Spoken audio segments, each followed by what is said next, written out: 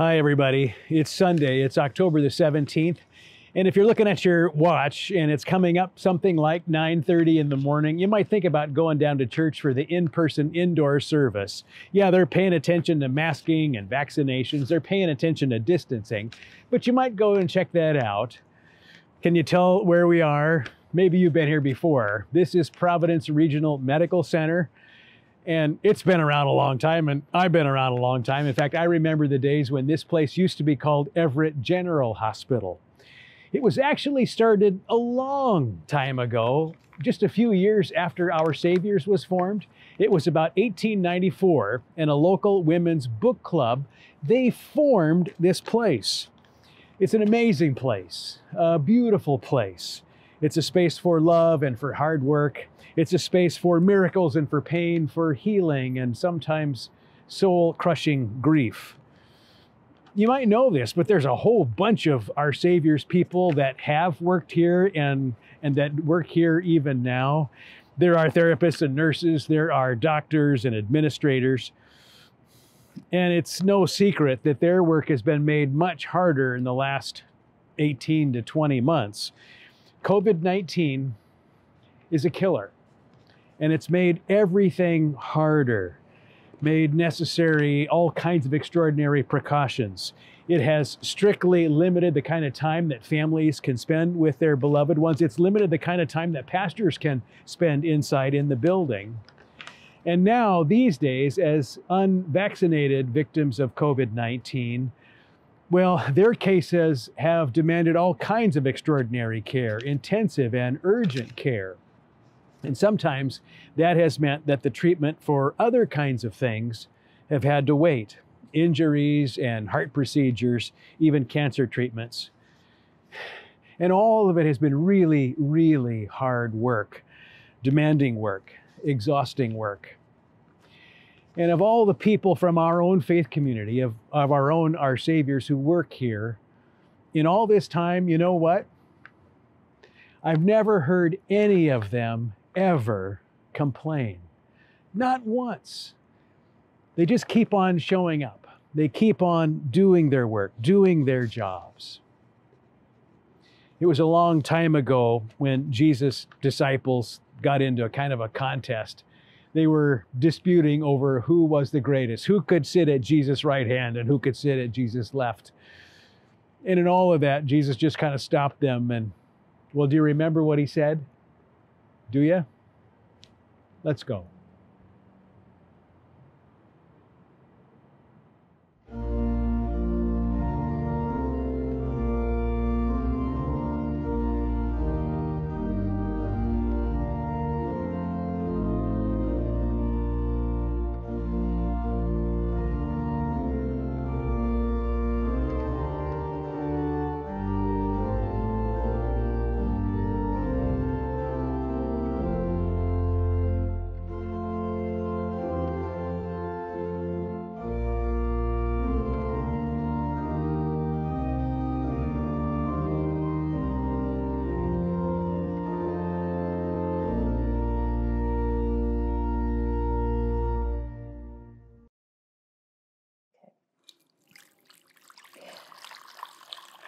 When I look at pictures of exhausted nurses who give everything they've got on the job,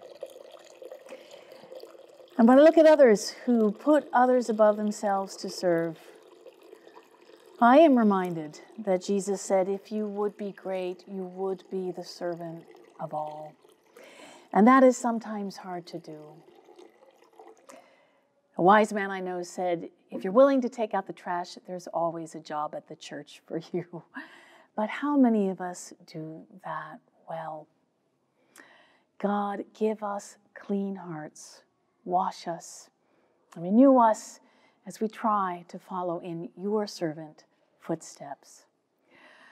The grace of the Lord Jesus Christ, the love of God, and the communion of the Holy Spirit be with you all. And also with you. Let us pray. O Lord God, you love us and you forgive us when we don't do as we ought and instead do as we don't want to do. Be with us, sustain us, give us your courage, your strength, your stamina as we do our best to follow in your footsteps, to be servants of all. Be with us. Love us through it all. We ask in your name. Amen.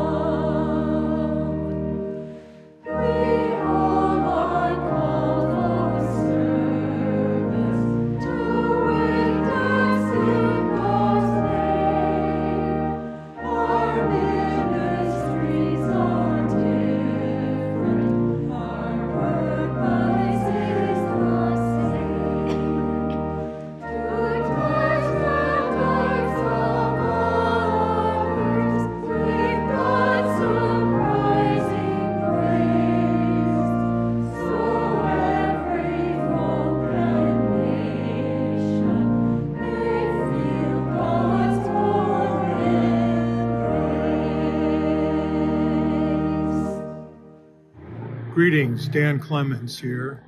Peace be with you from our backyard. The first reading is Psalm 91, verses 9 through 16. Because you have made the Lord your refuge, and the Most High your habitation, no evil will befall you, nor shall affliction come near your dwelling. For God will give the angels charge over you, to guard you in all your ways. Upon their hands they will bear you up lest you strike your foot against a stone. You will tread upon the lion, cub, and viper. You will trample down the lion and the serpent. I will deliver those who cling to me. I will uphold them because they know my name. They will call me and I will answer them. I will be with them in trouble. I will rescue and honor them. With long life I will satisfy them and show them my salvation. The second reading is from Isaiah 53, verses 4 through 6.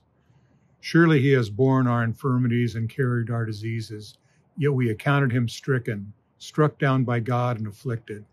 But he was wounded for our transgressions, crushed for our iniquities. Upon him the punishment that made us whole, and by his bruises we are healed. All we like sheep have gone astray. We have all turned to our own way, and the Lord has laid on him the iniquity of all.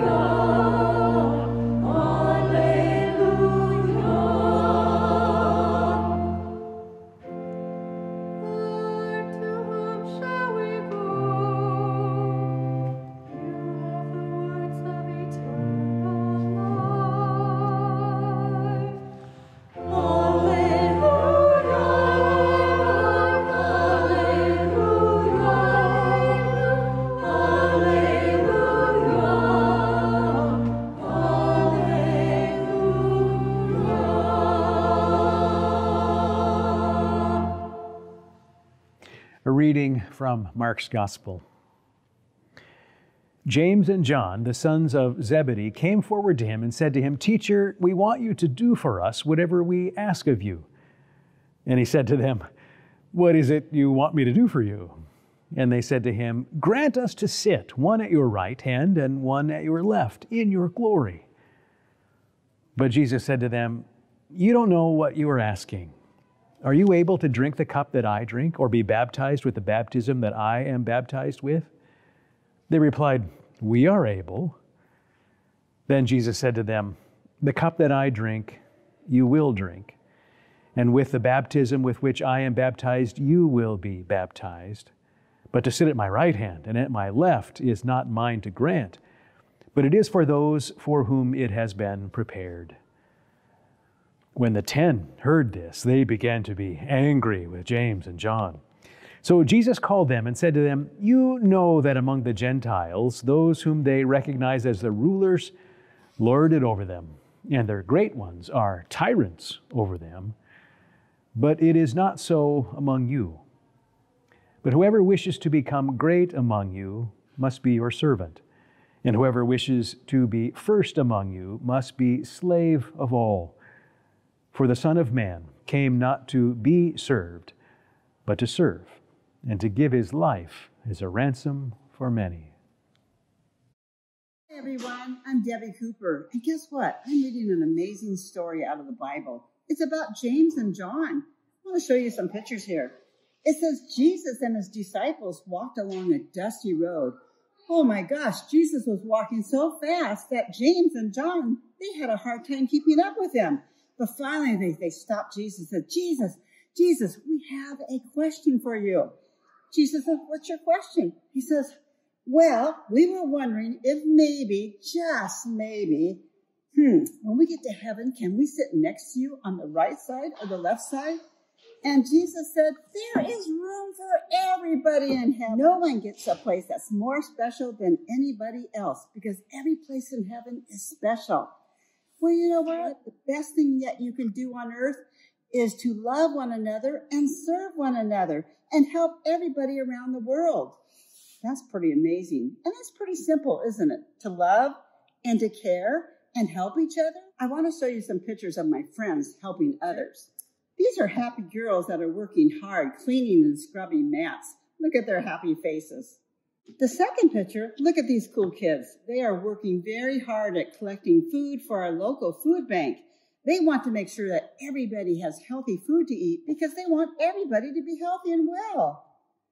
Oh, here's my third picture. This is my granddaughter, Vivi. Hunter is a little puppy and he gets in a lot of trouble. So she likes to read stories to him. It keeps him out of trouble and it's helping mom too. This boy is listening to a friend who is feeling very, very sad. Caring about others is really important to God. And God wants us all to be caring and loving to our friends every single day. This is my friend Thomas. Thomas likes to volunteer for many things. He helps with feeding families and he volunteers for so many different things at church. But Thomas is also a Boy Scouts, and Boy Scouts volunteer to help people do many things all the time. Our camp kids are busy helping pulling weeds and keeping our playgrounds clean. That is a hard job, and we are so thankful for our camp kids. So everyone can serve God by caring and loving one another. Oh my gosh, Scruffy, what are you doing here? You brought me something? Can I see it? Oh boy, I love surprises. Oh my gosh, let me see what this is. And a plate too? Oh, Scruffy, is this a lunch? Oh my gosh, let me show you. Scruffy, it's dog bones. How delicious. Do you mind if I share this with my other pet friends? Oh, thank you, Scruffy. Can I give you a hug? Mm, thank you so much, Scruffy. Maybe today you can go spread God's love by helping one another. Go bring joy to somebody by bringing them a flower or maybe a lunch like Scruffy. Who knows? But whatever, God wants us to share with everybody. He wants us to share his love. And no matter how old you are, how big you are, how young or little you are, everybody has a special place in God's world. Have a great day, friends. Go and serve others.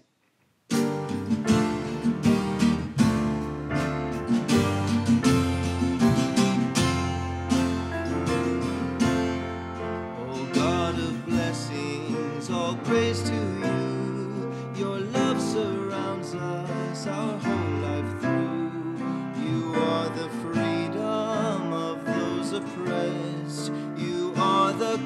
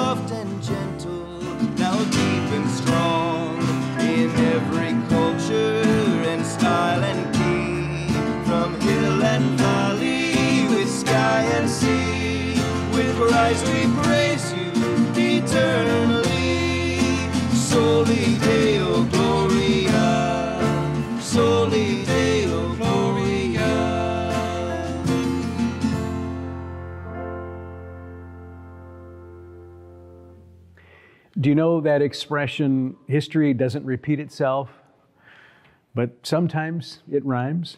Hmm. Germany in general, and Wittenberg in particular, was a tough, tough place to live in the 1520s. There was wide disparity between the rich and the poor, and women were oppressed and exploited. There was rampant illiteracy, and, and within the church, a kind of hostility and antipathy because some embraced Luther's reforms and others, man, wanted nothing to do with it. Public institutions teetered on the brink, and there was revolution in the air. And then, in 1527, there was another threat. They called it the Black Death, bubonic plague an ugly black patch of dead skin and infected tissue, sometimes on the groin, sometimes on the face, sometimes everywhere, but infectious and, and only partly understood and certainly deadly. This was yet another iteration, another variant of an earlier plague. Remember back in the 1300s in England and Europe and even North Africa, where millions and millions and millions died. They fought against the disease in ways that they best understood. And then they had these physicians, and they were kind of an odd lot. Were they barbers? What exactly were they? But they took to wearing this interesting headgear. It had a pronounced and strange proboscis protruding out the front of it. And to look at it, one is startled, but it was useful because it protected them or at least shielded them from some of the orders, uh, odors and deadly pathogens. They would stuff it with dead flowers and even chamomile and, and aromatics as a way to kind of keep themselves from what they had to face. It also was a kind of warning. As other people saw these masks, they would think, yikes, watch out, there must be sick people about. And so it kept on, and the rich and the poor, the young and the old, the male and the female, all of them victims of this pestilence. Well, congregations, of course, also had to figure out what to do. I mean, it was a crisis of faith. It was also a crisis of practice. How, how are we going to organize ourselves and what should we do? Should, should we get people together inside of a building? And, and what about the sacrament? And is it all right for us to visit one another in our homes? And what, who's going to take care of, of the dead? There were those who just wanted to leave town, just wanted to get away and, and wait out this pandemic. Does history repeat itself? Or does it just rhyme? Martin Luther had a friend and the friend was John Hess. John was the pastor of one of the local congregations there in Wittenberg. And as Hess and leaders of that particular place were trying to sort out uh, what to do in the midst of all of this, they write to Luther and they ask for some advice. So Luther writes back with what he calls whether one should flee from a deadly plague. And part of that text of that letter reads like this Luther says, I shall ask God mercifully to protect us. Then I shall fumigate, help purify the air, administer medicine, and take it. I shall avoid places and persons where my presence is not needed in order not to become contaminated and thus perchance infect and pollute others, and so cause their death as a result of my own negligence. See, this is such a God fearing faith because it is neither brash nor foolhardy and does not tempt God. I think it's interesting to note what Luther didn't say. I mean, he could have encouraged that each and every one should do whatever they think is right for themselves, but he didn't say that. He could have encouraged people to take the medicine if they want to, but he didn't say that either. He could have encouraged, well, just take your chances. After all, if God wants you dead, you're a goner anyway. And if God wants you to live, hey, don't worry about it. But Luther certainly did not say that. No, Luther's advice is in such stark contrast to what I've heard, and I wonder if you've heard from some of our Christian friends. Luther doesn't blame the disease as if it were God's curse on the gays, or God's curse on immigrants, or God's curse on the communists. And Luther doesn't suggest that we turn our back on science, whatever form that takes in our own times. And Luther certainly did not assert his own liberty or his personal rights as a free Christian. No, Luther's appeal is to faith and reason. It is to heart and mind. It is to theology and science, to personal responsibility and citizenship. These things are not opposed to one another as, as if it was an, an either or proposition. No, Luther says that I will pray, and then then I will fumigate and purify the air, and I will administer medicine, and I will take it. And I will not go where I'm not needed. I will not infect and pollute others. I will not cause willingly the death of another, and I will not tempt God. History doesn't repeat itself, but I think it rhymes sometimes. Jesus said greatness is not some climb to the top. It is not a willingness to uh, uh, be only among those who enjoy a higher status, but no, it is a willingness to be among those at the bottom. Sacrifice, care for the neighbor, servanthood, deference to others. And then Jesus offers a line, offers a line that that almost sounds as if it rhymes. I mean, if you read all the way to the end of the gospel, you see you see a kind of echo what is there. Do you remember? Jesus says, "For the Son of man came not to be served, but to serve and to give his life, to give his life." Jesus Christ our Lord. Amen.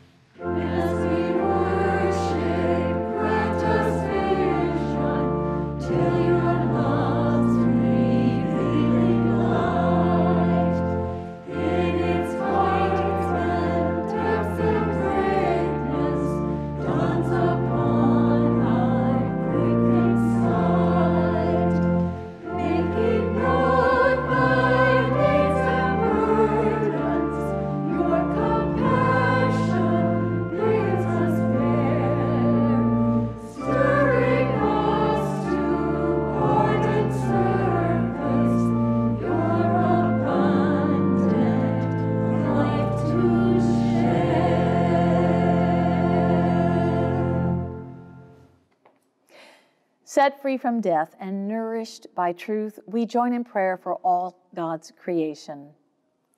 Holy One, for the gift of the church handed down through the ages, and for all who carry on the servant ministry of Jesus, we praise you. Send your Spirit upon all who are discerning and awaiting calls to ministry, especially Pam Karras. Lord, in your mercy, Hear our prayer. creating one. For the habitat you provide for all your creatures, we praise you. Help us realize that when one creature goes extinct, part of us dies too. May we serve the earth so that all living things flourish as you intend. Lord, in your mercy, suffering one for all who work toward justice and peace and who lead nations with a servant's heart, we praise you. Bring justice for all who suffer violence, persecution, discrimination, hunger, poverty, and homelessness. Lord, in your mercy, Hear our prayer. merciful one, for all who serve others by healing mind, body, and spirit, we praise you. Surround and comfort all who struggle with depression, anxiety, cancer, diabetes, dementia, or any illness, especially Holly, Tristan, Hannah, Jace and Carter and Grace, Tyler James, baby Adrian. For Mark, Bev, Bev, Larry, Sharon, Tracy, Doreen, the sister of Ron, Bill, Bill, and Judy. Lord, in your mercy, Hear our prayer. sustaining one. For all who volunteer for the vitality of this congregation, we praise you. Strengthen and encourage greeters, ushers, AV techs, coffee makers, bakers, and crocheters, counters, committee leaders, teachers, and students, singers, nurturers, those who wash dishes, and those who take out the trash. Bless all who serve with generous hearts. Lord, in your mercy Hear our prayer. confident that you hear us, O God. We boldly place our prayers into your hands through Christ, our truth and life. Amen. And we pray as Jesus taught us Our Father in heaven, hallowed be your name. Your kingdom come, your will be done, on earth as in heaven. Give us today our daily bread. Forgive us our sins, as we forgive those who sin against us. Save us from the time of trial, and deliver us from evil. For the kingdom, the power, and the glory are yours, now and forever. Amen. The peace of the Lord be with you always.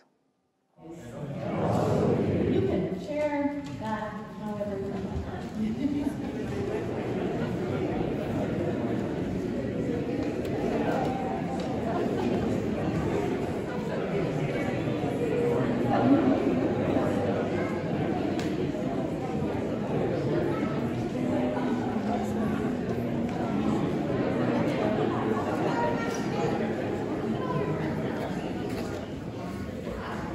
All right, peace. Let's all peace.